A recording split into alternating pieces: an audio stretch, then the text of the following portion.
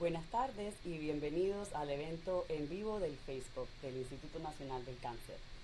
Mi nombre es Vera Nordan y esta tarde tengo el gusto de ser su anfitriona. Conmigo tengo a dos invitados muy especiales, a la doctora Ofelia Olivera del Instituto Nacional del Cáncer y al doctor Manuel Penichet de la Universidad de California en Los Ángeles. Ambos son expertos en el área de las desigualdades y las poblaciones que están afectadas por el cáncer. También como parte del tema de hoy vamos a hablar sobre la importancia de la diversidad en la investigación. Bueno, muchas gracias por acompañarnos el día de hoy y voy a pasarles aquí a nuestros invitados. Muchas gracias, Vera. Eh, soy la doctora Ofelia Olivero del Instituto Nacional del Cáncer y tengo el honor de poder compartir esta tarde con ustedes, con esta eh, audiencia hispana que nos acompaña. Eh, he trabajado en este instituto durante 30 años y me he dedicado fundamentalmente a estudiar aquellos fenómenos que ocurren en mujeres que tienen VIH y toman medicinas para combatirlo o para prevenir la transmisión vertical del virus a sus hijos. Aquellas madres embarazadas que toman estas drogas eh, pueden tener, eh, eh, padecer el riesgo de cáncer. Sus hijos pueden padecer este riesgo. Por lo tanto, nuestros estudios en modelos animales se enfocaron a estudiar los mecanismos por los cuales estas drogas ejercían ese, esa chance, esa posibilidad.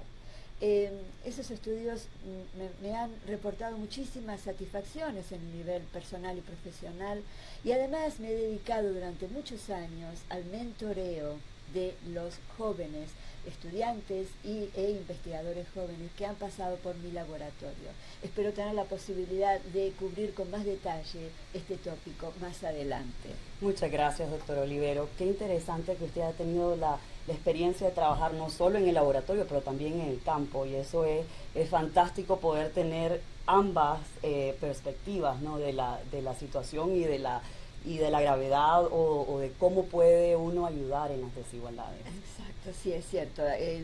los científicos somos polifacéticos, tenemos esa eh, capacidad de dedicarnos en, en, varios ámbitos. Muchas gracias, doctora, doctor Penichet. Gusto de tenerlo aquí con nosotros y bienvenido. ¿Nos podría hablar usted un poquito sobre su experiencia en el campo? Muchísimas eh, gracias por esta invitación eh, para interactuar con nuestra comunidad hispana. Eh, como usted mencionó, eh, yo trabajo en la Universidad de California en Los Ángeles, eh, UCLA o UCLA. He trabajado aquí durante los últimos 20 años. Nuestro trabajo consiste en parte en el campo de la inmunoterapia del cáncer. Nosotros desarrollamos nuevos medicamentos basados en anticuerpos que son componentes del sistema inmunológico pero los desarrollamos en el laboratorio eh, como posibles medicinas contra el cáncer. Eh, hemos desarrollado diversos tipos de anticuerpos contra el cáncer de seno, contra el cáncer de próstata y contra un cáncer de la sangre llamado mieloma múltiple. Estos anticuerpos son como eh, balas mágicas que son capaces, una vez inyectados en el organismo, de detectar las células cancerosas en diferentes partes del cuerpo y activando diferentes eh, mecanismos efectoras, eh, matar, eh, básicamente eliminar las células cancerosas o malignas. Además de esta investigación en inmunoterapia de cáncer, también trabajamos en entender el tópico que nos lleva hoy a esta discusión, eh, que es las desigualdades en algunos tipos de cáncer en poblaciones en Estados Unidos. Y en este sentido estamos enfocados en también el cáncer de seno, en el cáncer de próstata, así como en el eh, cáncer de la sangre mieloma múltiple. La idea está entender por qué existen estas desigualdades en la incidencia y en la mortalidad de estos tipos de cáncer en varias poblaciones aquí en Estados Unidos. Y finalmente, eh, nosotros también somos muy activos en proveer mentoreo efectivo a jóvenes investigadores, estudiantes o investigadores aún más avanzados que interactúan en la universidad, en nuestro laboratorio, en nuestros proyectos, eh, para eh, ayudarlos en su desarrollo en la carrera científica. Y esto es no solo aquí en la Universidad de California en Los Ángeles, pero también interactuamos con otros grupos como la Sociedad de Honor Buchet en Estados Unidos, eh, que tienen como objetivo promover la diversidad en la ciencia en, nuestro país. Eh, eh, la Sociedad de Honor Buchet se llama Buchet en honor al primer afroamericano que obtuvo un grado de doctorado aquí en Estados Unidos en el siglo XIX y es un ejemplo inspirador para las minorías. muchísimas gracias. Muchas gracias, doctor Peniche. Eh, usted mencionó que está estudiando muchas de las causas que explican las desigualdades, ¿no? Y súper interesante, y también que tiene la oportunidad de estar trabajando en el campo de la inmunoterapia y el cáncer, que es eh, un, tema novedoso, ¿no? Eh, pero antes de hablar un poquito más a fondo sobre este tema, ¿cree que nos podría explicar a qué es que nos referimos cuando estamos hablando en las desigualdades, de las desigualdades en ciertas poblaciones afectadas por el cáncer y cómo es que uno eh, define que hay una desigualdad, cómo se identifica que hay una desigualdad en una población. Claro, esa es, una buena, muy buena pregunta. Eh, el marco de las desigualdades es amplio, es complejo. No podemos separar a veces una desigualdad de otra. Por ejemplo, la dieta, los factores socioeconómicos, los factores culturales, van todos muy de la mano. Es decir, que es, es importante para el epidemiólogo o el investigador que quiere disociar o desglosar estos datos y estudiarlos aislados, es importante tener estos datos, pero también es importante saber en qué marco se encuentran y se agregan todos juntos. Por lo tanto, eh, ya mencioné tres aspectos de las desigualdades, falta mencionar el aspecto genético, biológico. Hay muchos eh, individuos que tienen ciertas susceptibilidades genéticas a determinados factores que inducen que el cáncer sea más agresivo, por ejemplo. El doctor Penichet seguramente eh, quiere agregar algo más a esta pregunta. Sí, en, general eh, yo quisiera enfatizar que cuando se habla de desigualdad en las poblaciones eh, en este contexto eh, del cáncer, estamos hablando que existen grupos raciales o étnicos que son desproporcionalmente más afectados tanto en la incidencia, o sea, el número de nuevos casos por año, como en la mortalidad de algunos tipos de cáncer eh, comparado con otros grupos aquí en Estados Unidos. Eh, por ejemplo, existen, y sobre esto vamos a hablar más adelante, eh, algunos tipos de eh, cáncer que afectan más a la población afroamericana o a la población nativa o indígena, a los asiáticos o a los hispanos los afectan más comparados con la población blanca no hispana en Estados Unidos. cuando se habla de, de, esta desigualdad es cuando hablamos de disparidad en el cáncer o desigualdad en el cáncer. Eh, como eh, mi colega explicó, existen muchos factores que de esto eh, hablaremos un poco más adelante, y, pero yo también quería dejar claro que las costumbres, la cultura es importante y también es importante lo que es la, la raza del individuo. Hablamos de etnia y raza. Cuando hablamos de hispano es más un grupo étnico que un grupo racial. raza es más, digamos, biológico. Cuando hablamos de la eh, de personas de origen africano, de la raza negra o de origen asiático, o cuando hablamos de blancos que son de origen eh, caucásico, estos son más bien razas, pero los hispanos son un grupo heterogéneo que tienen una identidad de costumbres, de creencias, también tienen unidad en el idioma, pero pueden, su raza puede variar y esto es muy importante porque la población hispana cambia en dependencia de la región de Estados Unidos y por supuesto de la procedencia en caso de países de, habla hispana y esto hay que tenerlo en cuenta cuando se hacen estudios epidemiológicos sobre incidencia y mortalidad de determinados grupos de, cáncer. Es muy interesante, ¿no? De ver que hay múltiples factores que afectan a las poblaciones. Estamos hablando que no solo es la dieta, la biología, el área donde viven, pero ahora también estamos viendo que eh, la raza, la etnia y hay cierto tipo de cánceres que afectan más a los hombres y a las mujeres hispanas. Sí, claro, claro que los hay. Eh, hay, hay disparidades no solo en, en, el tipo de cáncer, sino también en el diagnóstico, cómo se llega a un diagnóstico, luego cómo se maneja la enfermedad, luego qué tipo de agresividad tiene la enfermedad y luego cómo son las desigualdades a nivel de mortalidad. Muchas, eh, muchos grupos étnicos están afectados, no el doble o tal vez un poco más, pero la mortalidad sí es el doble. Es decir, es todo un continuo en donde tenemos que encarar el problema no aisladamente, no un factor, no el factor genético simplemente, el estigma que significa el cáncer para algunas poblaciones, el, el acceso a sistemas de salud que sean realmente eh, comprensivos, que sean capaces de abarcar toda la problemática a los que nos referimos.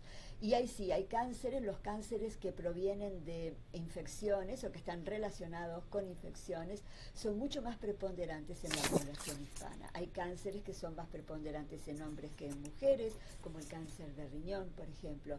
Y hay otros cánceres que afectan a poblaciones afroamericanas, como el cáncer de próstata, por ejemplo. El doctor Penichet seguramente puede agregar más a, a estos conceptos. Gracias, doctor Olivero. Doctor Peniche, ¿nos podría dar algunos ejemplos relevantes eh, tal vez de la población hispana y cómo eh, estos agentes infecciosos están afectando también el cáncer en estas poblaciones?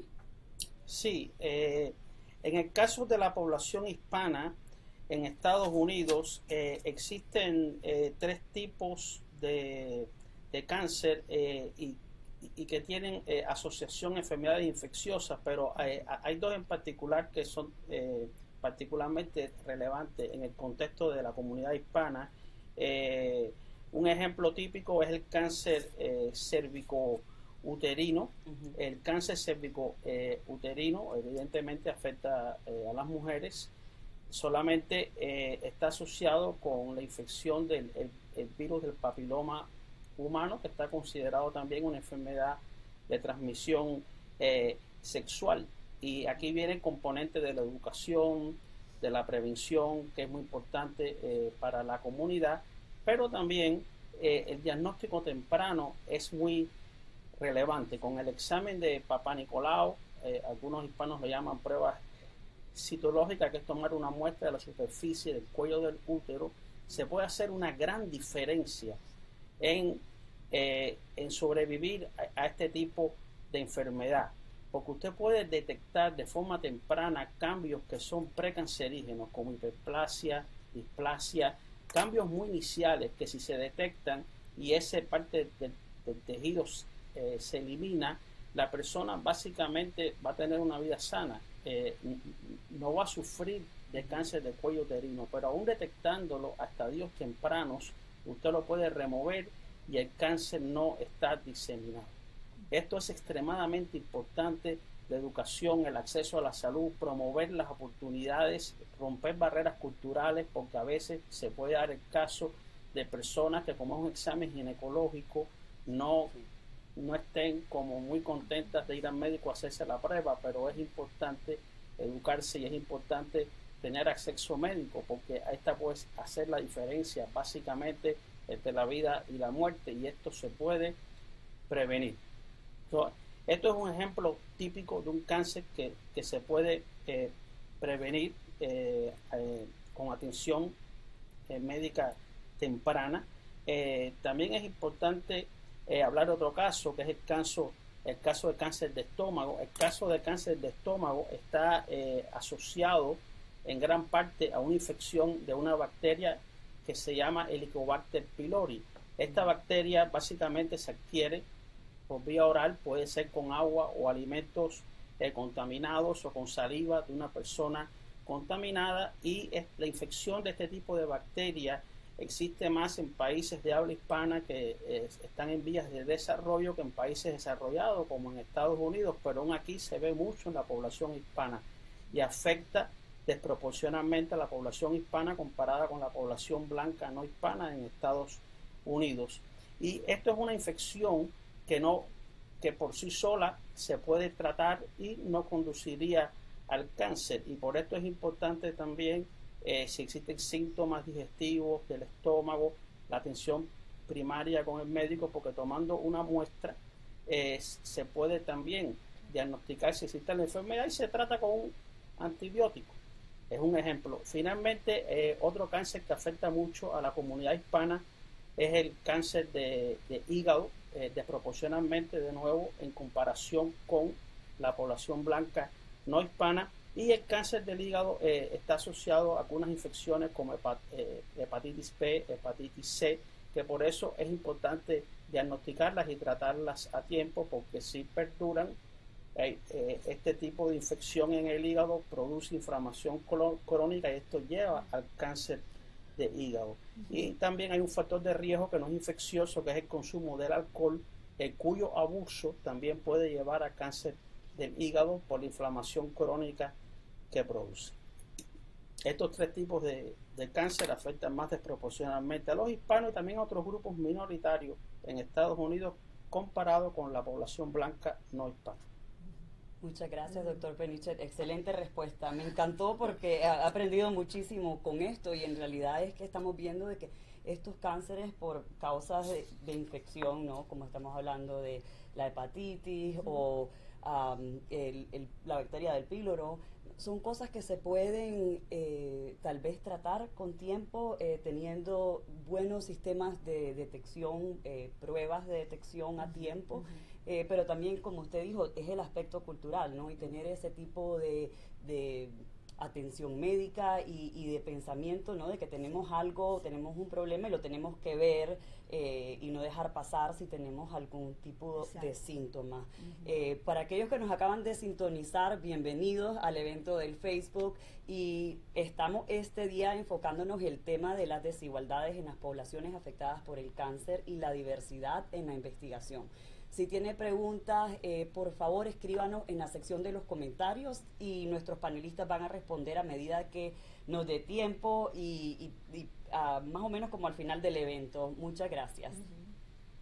Bueno, ahora viendo las próximas preguntas, queríamos, eh, ahora que estamos viendo, ok, qué es lo que causa eh, alguna de estas desigualdades, qué otras cosas, qué otros obstáculos hay en estas poblaciones que son afectadas por el cáncer, eh, que no sean solo las biológicas o la cultura? ¿Será que tal vez el idioma o ¿Qué puede afectar también? Eh, bueno, sí, es un buen punto el del idioma, sobre todo en el caso de los hispanos, por supuesto. Eh, eh, sin embargo, y por eso es que queremos una fuerza laboral diversa, en donde podamos comunicarnos cada vez más, cada vez mejor, en donde nuestros médicos hablen como nosotros, se parezcan a nosotros, entiendan nuestra cultura y nuestros hábitos, y que la enfermera también, y que el asistente del médico también, y que estemos representados eh, no solamente en la población, sino en todos los diversos aspectos eh, de, la fuerza laboral. Por eso estamos tratando de obtener una fuerza laboral que sea representativa de la población. ¿El doctor Penichet puede querer agregar algo más? Sí, eh, por supuesto, estoy totalmente de acuerdo con el comentario de mi colega. Eh, a veces hay barreras no solo de idiomas, sino culturales y muchas personas se sienten más, digamos, más confortables, más a gusto o digamos que confían más si, se tratan eh, con un personal de salud que es afín y que es sensible a ese tipo de cultura. Eh, por eso todos los esfuerzos encaminados a entrenar a personal de diferentes minorías en el campo del cáncer, eh, incluyendo cuando se interactúa directamente eh, con los pacientes, eh, es, es, extremadamente importante.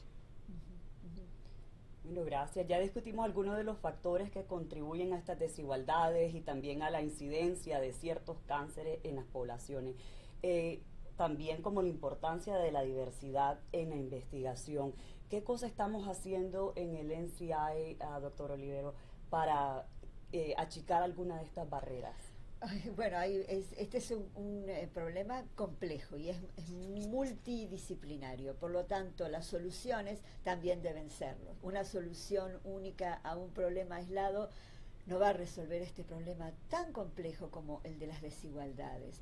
Para ello, el NCI eh, entrena eh, una cantidad de eh, eh, investigadores, desde, desde la escuela secundaria hasta que ya son investigadores establecidos.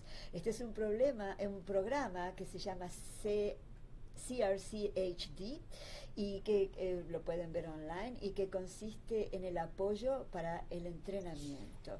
Provee, eh, grants, subsidios, funding y ayuda a, las, eh, a varias de las minorías. esta sería la forma de comenzar a repoblar eh, lo que se llama el pipeline. Es decir, cuanto más oferta de médicos de programaciones diversas haya y de todo tipo, no solamente médicos, todo tipo de profesionales, vamos a lograr una fuerza laboral que sea más vibrante, que, produzca eh, una relación médico-paciente que sea mucho más efectiva, que favorezca el acercamiento de los pacientes al consultorio médico, al, eh, al tratamiento, que, que establezcan una relación de confianza con el médico y que eh, sigan los lineamientos y los tratamientos que sean establecidos o sugeridos porque eso es la mejor manera de seguir adelante. Gracias, doctor Olivero.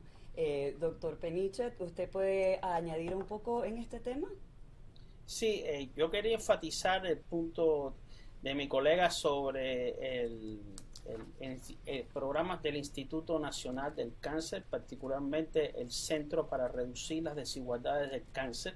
Eh, nosotros, como institución fuera del Instituto Nacional del Cáncer, hemos recibido el soporte financiero de muchos programas de este Centro para Reducir las Desigualdades del Cáncer del Instituto Nacional del Cáncer y programas no solo para investigar eh, en el laboratorio eh, diferencias en las, o, las desigualdades en la incidencia del cáncer entre algunos grupos minoritarios comparados con otros grupos en Estados Unidos, pero hemos recibido soporte financiero para entrenar a jóvenes investigadores y en este sentido, eh, eh, creo que hemos sido exitosos. Eh, tenemos muchos ejemplos de jóvenes investigadores que llegaron a nuestros laboratorios con poca experiencia.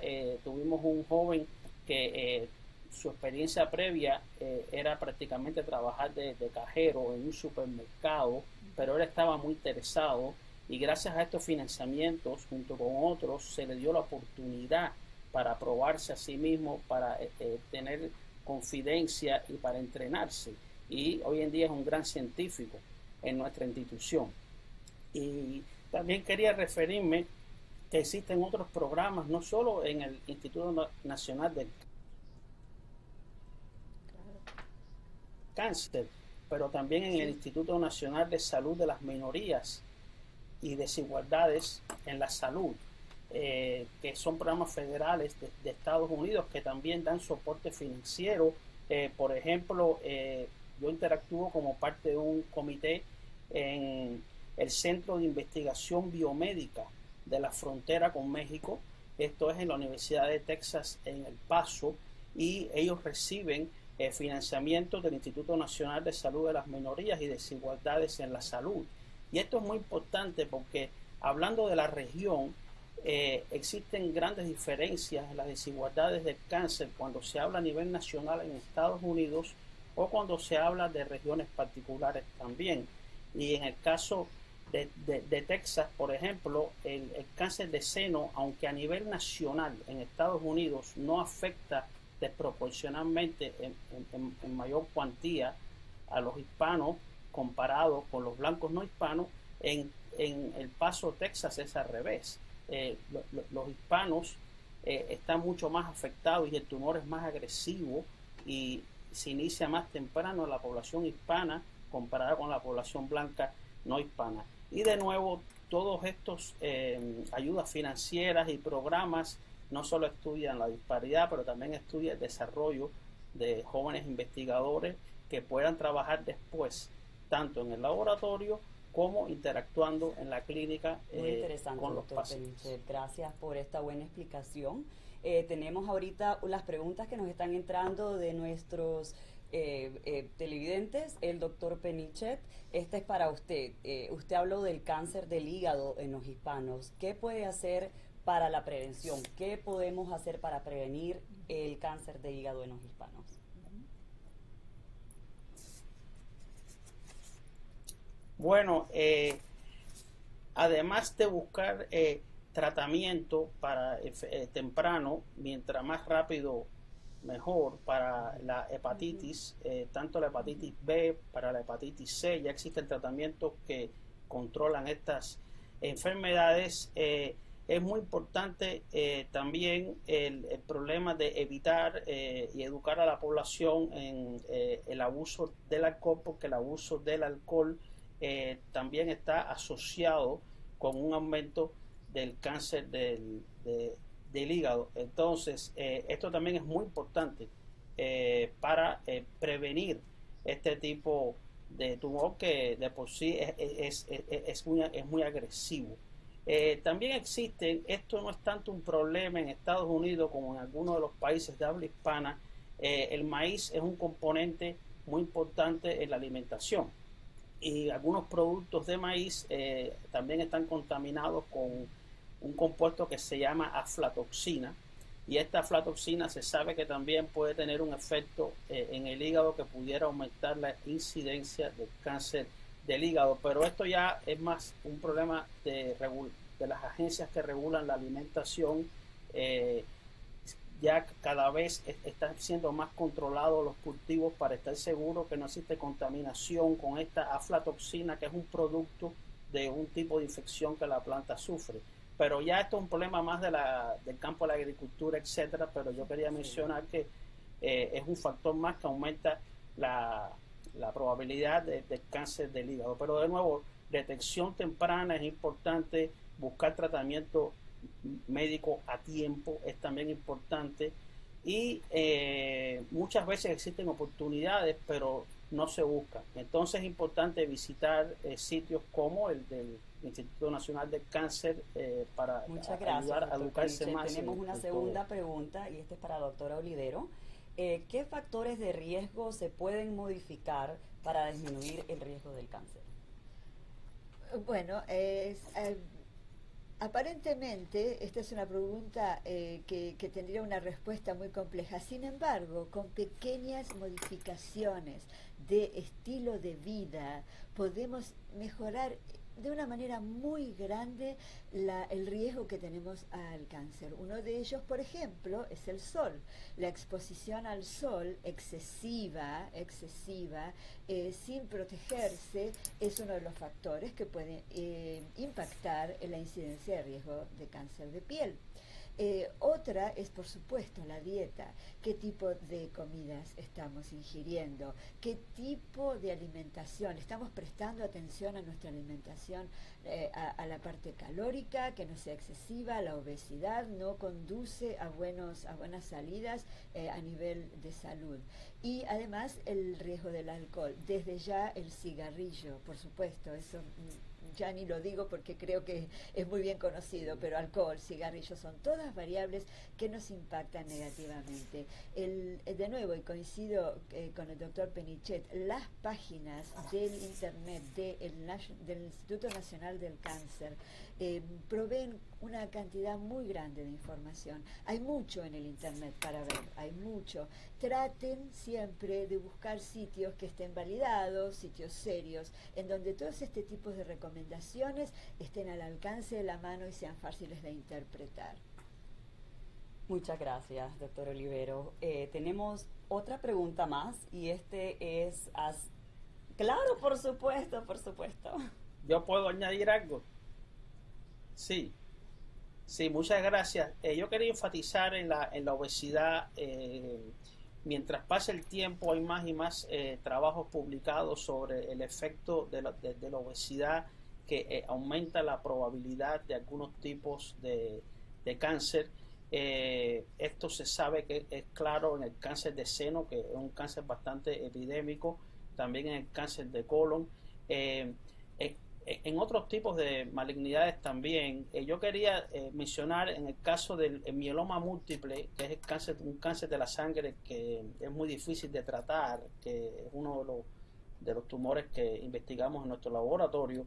En el caso de, del mieloma múltiple, la incidencia y la mortalidad es el doble en la población afroamericana comparada con la población eh, blanca no hispana aquí en Estados Unidos.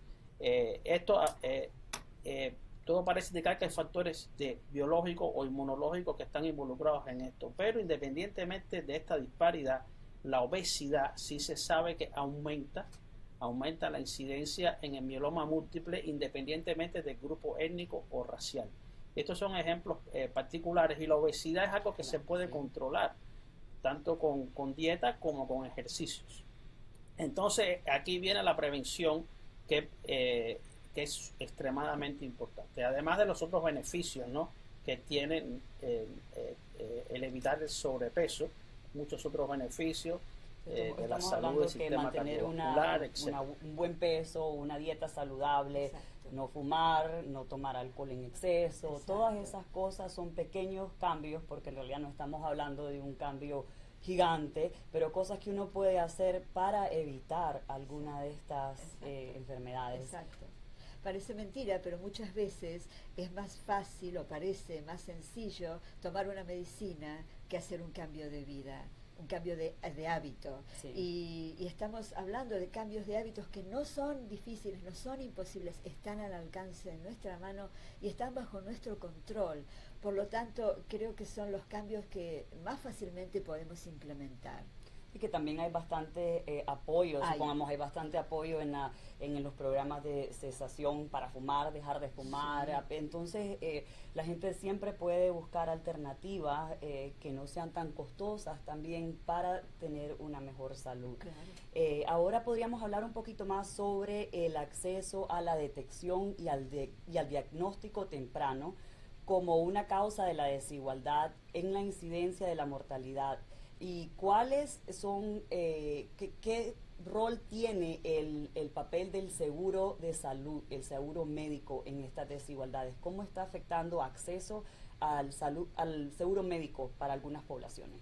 Eh, creo que como bien lo dijimos al principio, esto es un continuo, ¿no? El, eh, acceso a, medicina, la capacidad de eh, tener eh, un diagnóstico y luego el manejo de la enfermedad. Mucha gente está diagnosticada, pero el manejo de la enfermedad es diverso en las poblaciones que son diversas. Por lo tanto, el resultado también lo va a ser, con resultados más negativos eh, o, de poco suceso en aquellas poblaciones que son minoritarias.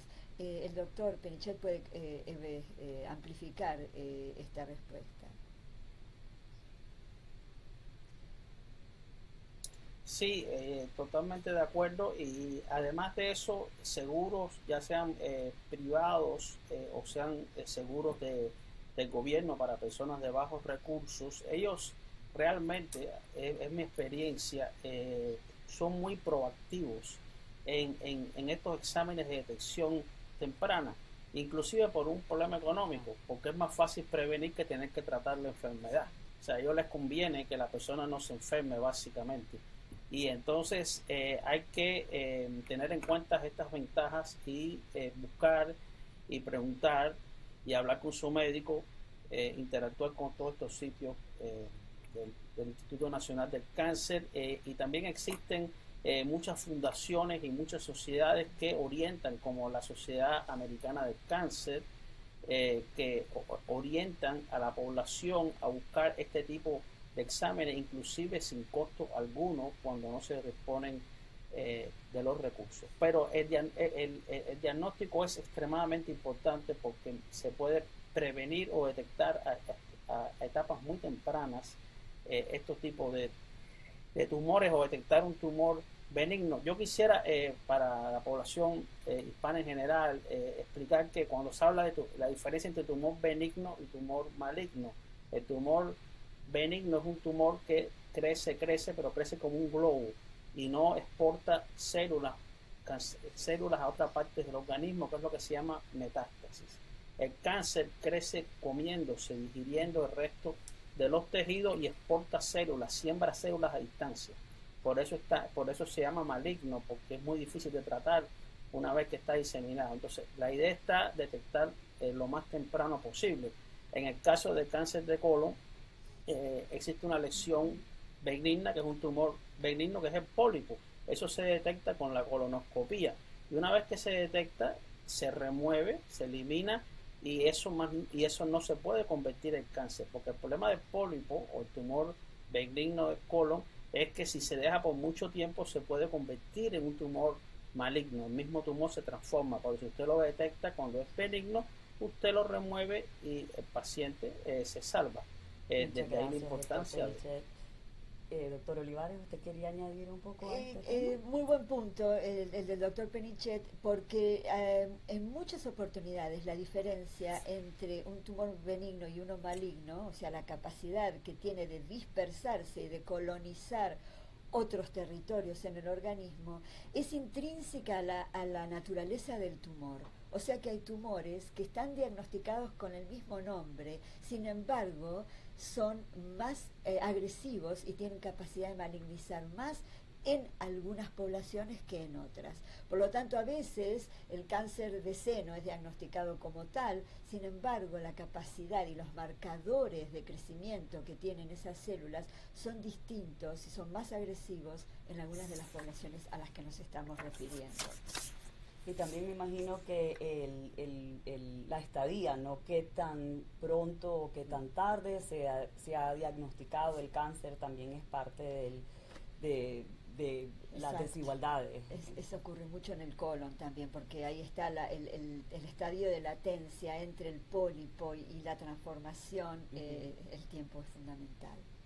Muchas gracias. Tenemos otra pregunta de nuestra audiencia y esto va como bien eh, en, en, el tema que estamos abarcando el día de hoy y es qué tan importante es la diversidad en un estudio clínico. Es fundamental, la diversidad en, un estudio clínico es fundamental, porque desde el punto de vista del investigador o del médico, tener capacidad de entender toda la gama en la que se puede presentar una patología es crítica, es crítica para entender el tratamiento, para entender los mecanismos, para saber cómo enfrentarse a patologías que tienen diverso curso. Por lo tanto, eh, tener la mayor diversidad posible en los estudios clínicos es, eh, está en el mejor interés tanto del paciente como también de los eh, médicos o, los eh, investigadores que estén abocados a la tarea del estudio.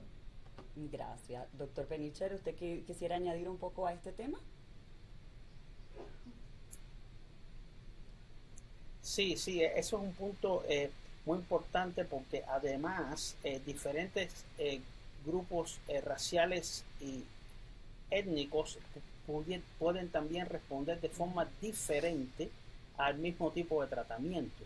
Entonces, si existe un ensayo clínico que nada más que se enfoca en un grupo determinado, es posible que, que no llegue a ver el, el efecto como tal del medicamento en la población en general. Entonces, esto es extremadamente importante porque pueden haber diferencias que no se puedan, serían invisibles si usted no incluye a todos los componentes de una sociedad, a los grupos minoritarios, incluyéndolos por supuesto en el estudio clínico. Esto es eh, fundamental y además es una forma de eliminar las desigualdades. Porque a veces la desigualdad está también en el acceso al tratamiento. ¿eh? También. A veces la desigualdad puede ser en el acceso al tratamiento, o sea, esto también contribuye a eliminar la desigualdad y, y, tener una participación amplia de diferentes grupos étnicos y raciales. Eh, es importante ahorita también en la era de la medicina de la precisión, donde muchas cosas están específicos para ciertos pacientes, ciertos tipos de cáncer. Y cómo entonces podemos aumentar la diversidad en los pacientes que participan en estos estudios? ¿Qué podríamos hacer para atraer a diferentes grupos que participen? Eh, creo que es importante que haya una difusión más grande acerca de la eh, importancia de la participación en estudios eh, clínicos. para ello hay que llegar a poblaciones a las que nos interesa reclutar para estos estudios, pero hay que llegar de una manera clara, hay que llegar vía de una persona que se comunique con las poblaciones y que, y que haga, nos haga entender cuáles son las ventajas de participar en, este tipo de estudios, no solamente para uno, sino para los que uno representa. Sí, no, muy interesante. Y esto como que va dando la vuelta en completo con lo que usted estaba diciendo, la importancia de tener doctores que entiendan a las diferentes poblaciones diversas, que tengan buenas eh, maneras de comunicarse y poder darle las informaciones que ellos necesitan para que uno o participen en estudios clínicos, tengan acceso a las eh, pruebas de detección tempranas o a tratamientos adecuados. Entonces todo va como vinculado a este tema. Es, un esfuerzo, como hoy decíamos, multidisciplinario y, que hay que encararlo desde varios ángulos. Bueno, el ángulo del paciente, también el ángulo de los investigadores o médicos y también tener una intención clara y transparente acerca de querer reclutar gente de origen diverso en los clinical trials o en los estudios clínicos. Muchas gracias. Eso se habló sobre la diversidad en la fuerza laboral.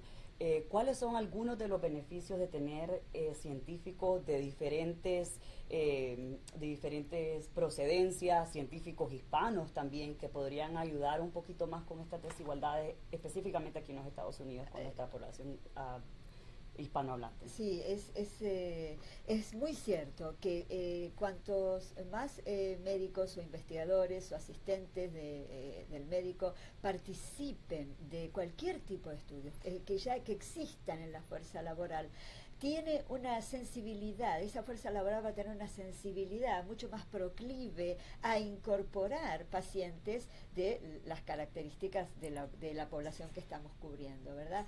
Eh, no solo eso, sino que una fuerza laboral con diversidad también es una fuerza laboral con diversidad de ideas de planteos, de enfoques, de respuestas, de soluciones a los problemas.